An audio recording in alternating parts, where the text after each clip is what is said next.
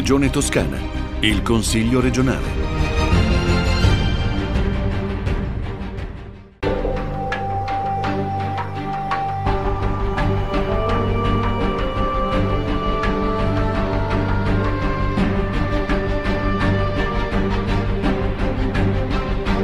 In occasione del Consiglio regionale della Toscana di questa settimana, uno dei temi affrontati dalle forze politiche è stato la vicenda dell'attacco a Roma alla CGL. C'è stata una forte condanna da parte di tutti i gruppi del Consiglio regionale e noi nella nostra carrellata di interviste andiamo ad ascoltare i singoli portavoce dei gruppi su questa vicenda. Io spero che il Consiglio regionale si possa discutere. Si discute solo ad una una condizione eh, per l'ordine dei lavori che ci sia l'unanimità di tutte le forze politiche. Gli atti che sono avvenuti in questi giorni, gli atti squadristi eh, da parte dei Novax e delle forze eh, diciamo, neofasciste che ci sono in questo Paese sono stati qualcosa di incredibile, impensabile, gravissimo e io credo che il Governo e il Parlamento debbano agire rapidamente e sciogliere forze di questo tipo, estremiste e, neo, e neofasciste. Questa è la strada da percorrere velocemente, io mi auguro che anche il Consiglio regionale della Toscana, tutto compatto, mandi questo messaggio al Governo e al Parlamento. Siamo d'accordo, tant'è vero che come Partito Democratico abbiamo presentato anche una mozione eh, che speriamo trovi anche eh, una vasta convergenza che condanna i fatti inquietanti, veramente preoccupanti che sono avvenuti a Roma sabato scorso. Bene hanno fatto i sindacati a eh, indire per il prossimo sabato invece una manifestazione per riaffermare eh, la democrazia per riaffermare la validità della nostra Costituzione, noi in questa mozione chiediamo al Governo eh, di valutare lo scioglimento di tutte le forze che si rifanno all'apologia del fascismo. Questo non perché dire, eh, vogliamo discriminare qualcuno, ma perché vogliamo che sia riaffermata la nostra Costituzione che appunto prevede che il fascismo eh, non può far parte cioè, della nostra eh, legislazione, della nostra Costituzione, eh, non può far parte insomma, di eh, quello che è il nostro viver civile. Tutto quello che si rifà al fascismo ovviamente non può essere parte della nostra organizzazione democratica. Intanto ferma condanna nei confronti di tutti coloro che vanno in giro e commettono violenza. Purtroppo non è la prima, la prima volta che in Italia si, si verifica, questa volta eh, le violenze sono state attribuite a esponenti di Forza Nuova, ma a noi è successo più di una volta eh, di, di, subire le stesse violenze anche durante le nostre manifestazioni da parte dei centri sociali. Quindi è bene che la politica si renda conto che eh, quando ci sono certe azioni, indipendentemente da chi le commette, si debba comunque porre rimedio e trovare eh, un rimedio. È arrivata una mozione anche da noi in aula qui in Consiglio regionale, eh, proporremo degli emendamenti prima di, di votarla, ma pensiamo che si debba fare un ragionamento complessivo e molto ampio, perché la violenza eh, non ha colore politico, cioè ce l'ha, ma ce l'ha spesso in più sfaccettature, in più colori a seconda delle situazioni. Quindi è bene eh, quando si, si condanna condannare tutto e tutti quanti. Chiaro, noi vogliamo esprimere la nostra solidarietà alla CGL perché quello che è avvenuto è assolutamente inaccettabile a fronte di tante persone che invece erano a manifestare in maniera pacifica e legittima e quelle invece vanno difese e tutelate perché il diritto di manifestare deve essere mantenuto sempre, in maniera però pacifica. Noi chiederemo proprio di porre anche una condanna e, e, di sciogliere i centri sociali perché non è che fanno meno danni quando ci sono le manifestazioni rispetto a quello che abbiamo visto durante la CGL, quindi la, la valutiamo come un'opportunità per poter dialogare e per poter mettere fine in toto a tutto quello che vediamo, alle vetrine spaccate, ai disastri fatti nelle sedi, eh, proprio da parte di tutti quanti, perché visto che c'è un'occasione, si apre uno spiraglio da parte della maggioranza, crediamo che sia giusto eh, trovare una soluzione che, che, che coinvolga tutte le casistiche che sono successe negli anni, visto che la maggioranza la vuole portare, eh, pensiamo che sia un'opportunità da sfruttare. Vediamo se l'accetteranno. Quanto è successo a Roma è ulteriormente un fatto ancora più grave, ma questa spirale di violenza, che poi si determina in alcune piazze italiane, indipendentemente da dove si verifica e contro chi si verifica, sempre corretto la solidarietà di chi subisce un'aggressione, ma le aggressioni a mio avviso sono fisiche, sono molte volte anche verbali e poi queste cose possono congiungersi, quindi il clima di odio, il clima verbale, l'utilizzo di queste terminologie molte volte innesca e determina a sua volta delle reazioni da parte di gruppi estremisti, quindi la politica, le istituzioni, chiunque le rappresenta non può avere due facce due volti, un giorno sì, un giorno no, sempre vanno condannati, ma la condanna deve iniziare dalle aggressioni verbali per poi condannare ovviamente quelli che sono atteggiamenti anche fisici o violenti che non sono concepibili dalla nostra Costituzione.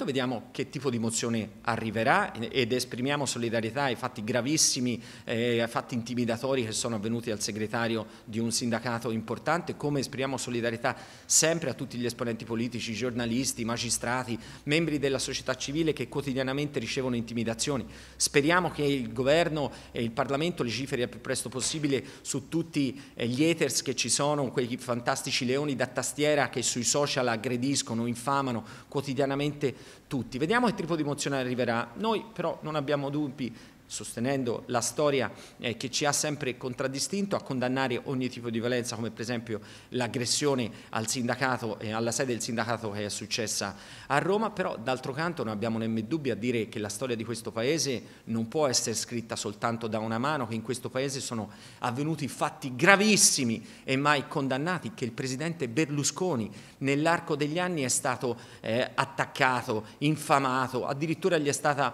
eh, gettata una statuetta addosso eh, mandandolo all'ospedale e gli attestati di solidarietà dalle forze politiche non sono sempre arrivati. Ecco perché noi fermi eh, nella nostra storia diamo solidarietà alle persone, ma anche vogliamo che sia fatta chiarezza in questo Paese su quello che è successo. Ho presentato personalmente la sera stessa eh, la mia solidarietà alla direzione provinciale di Pisa e per esteso quindi a tutta la CGL toscana e nazionale la mia solidarietà per l'atto vergognoso di cui si sono trovati oggetto. E condanno questo due volte, perché innanzitutto è stata colpita la sede di un sindacato eh, del quale, di qualunque opinione se ne abbia, resta sempre comunque sia un simbolo dei lavoratori quindi istituzionalmente è stato un gesto squadrista, come ha detto lo stesso segretario Landini, vergognoso e molto pericoloso su cui dobbiamo accendere istituzionalmente i riflettori. Il secondo aspetto è perché questi facinorosi di chiara matrice di destra, eh, cosa evidente a tutti tranne eh, ai diretti interessati, ai vertici dei loro partiti, hanno eh, in questo modo eh, macchiato una manifestazione che era fatta di persone che condividevano un'idea, magari non condivisa da me o da altre persone, ma comunque si hanno manifestato pacificamente eh, lungo le strade, cosa che in una democrazia come quella italiana è sempre permesso. Quindi il, il disvalore che è stato presentato in questo gesto è stato doppio. Quindi è bene che le istituzioni e soprattutto gli organi inquirenti approfondiscano cos'è accaduto e condannino fermamente sicuramente tutti responsabili perché non diventino poi seme di altri eventi di questo tipo. Stop alla violenza e tutti noi dobbiamo farci carico di portare distensione anche nel nostro operato e nel nostro modo di fare politica. Allora, intanto approfitto del tema per esprimere, l'abbiamo già fatto ma lo rifacciamo sempre volentieri, la più assoluta solidarietà alla CGL di Roma ma anche a tutte quelle forze sindacali e sociali che anche in queste ore ricevono minacce da movimenti di matrice differente, ma accomunati dall'idiozia evidentemente. Eh, sulla mozione a noi va benissimo discuterla, credo sia un tema da sottoporre assolutamente alla politica. È un po' surreale il fatto che la politica, e non credo sia nemmeno legittimo più di tanto, che la politica disponga lo scioglimento di una forza politica, cioè ci sono eh, strutture, istituzioni apposite che dovranno decidere questo e mi auguro perché eh, le, le, le, violenze vanno sempre condannate e combattute, mi auguro che chi, sia, chi è competente agisca in questa direzione e provveda a sciogliere tutte quelle forze politiche, Forza Nuova se, se ha commesso dei reati come quelli di Roma della settimana scorsa senza ombra di dubbio, ma tutte quelle forze politiche di destra, di sinistra, di centro, di sopra o di sotto che fanno della sopraffazione della violenza, dell'impedimento fisico all'avversario di esprimere la propria opinione, la propria bandiera, la propria azione politica. Chi si pone fuori dalla legalità deve essere sciolto. Lo devono fare gli organismi competenti, la politica lo può segnalare, bene se oggi segnala lo scioglimento di Forza Nuova, altrettanto vigore, altrettanto eh, deve essere netta la condanna quando a compiere azioni simili a quelle sono altri movimenti. Il Consiglio regionale della Toscana tra i temi all'ordine del giorno ha discusso sulle aree interne, in particolare sui vantaggi di fiscalità per aree leader. Una risoluzione è stata approvata e eh, per attivare una fiscalità di vantaggio per le aree interne al fine di combattere lo spopolamento e dare opportunità di lavoro soprattutto ai giovani nelle aree montane e nelle aree rurali. È un atto importante, le aree interne sono quelle che in questo momento più di altre stanno soffrendo soffrendo, quindi bene il lavoro fatto dalla Commissione per cercare di dare una misura fiscale a favore di quei territori, molte volte periferici, non solo montani ma anche collinari, ma lontani dalle grandi città che più di altri faticano a trovare livelli di competitività c'è un atto, ed è evidente dai dati che abbiamo in mano, di spopolamento oggettivo delle periferie urbane, non di quelle collegate alle città, ma delle realtà rurali, che invece potrebbe andare in controtendenza se rendono diciamo, incentivanti la possibilità di andare a vivere in quei territori. Andandoci a vivere, quei territori hanno bisogno di servizi nuovi e aggiuntivi. Se non ci sarà questa inversione di tendenza, è evidente che la Toscana viaggerà a due velocità. Quindi siamo a favore di questa misura.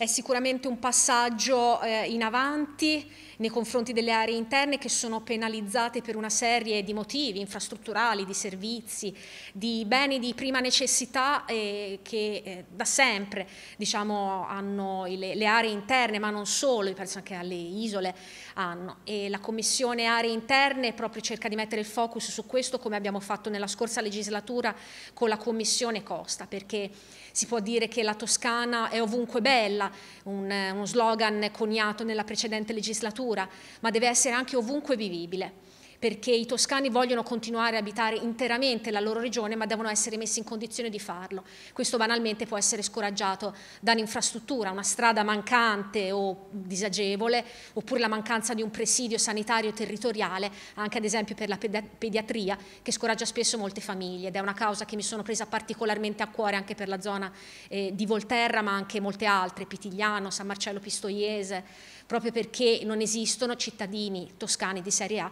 e di serie B e questo vale per tutti. Eh, la montagna ha partorito il topolino, nel senso che quella proposta di risoluzione invita il Parlamento a pensare a sgravi fiscali per le aree interne io penso che un organo legislativo, qual è il Consiglio regionale, avrebbe potuto fare molto di più, soprattutto impegnare se stesso a fare delle iniziative in quel senso. Pensiamo per esempio a una tassa di ambito regionale, il bollo auto, il bollo per i mezzi di trasporto. Se avessimo immaginato di sospendere il pagamento del bollo auto per tutti quei mezzi commerciali delle eh, partite IVA che hanno sede legale nelle aree interne avremmo fatto una cosa sensata e con un'efficacia diretta. Invece così si è invitato qualcun altro a fare qualche cos'altro. È il solito giochino del rimandare la palla in calcio d'angolo. Sicuramente la strada giusta, sicuramente la Regione può intervenire direttamente per anche agevolare la pressione, abbassare la pressione fiscale sulle eh, imprese e su eh, coloro che continuano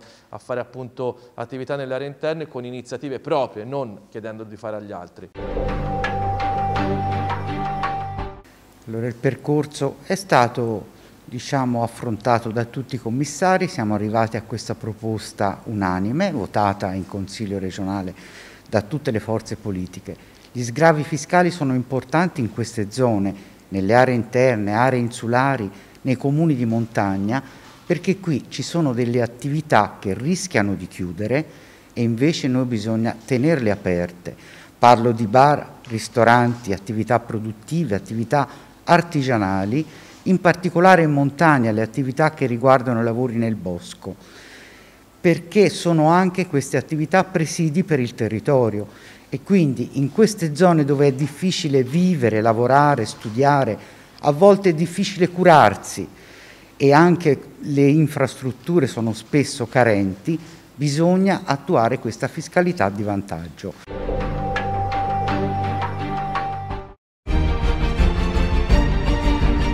Regione Toscana, il Consiglio regionale.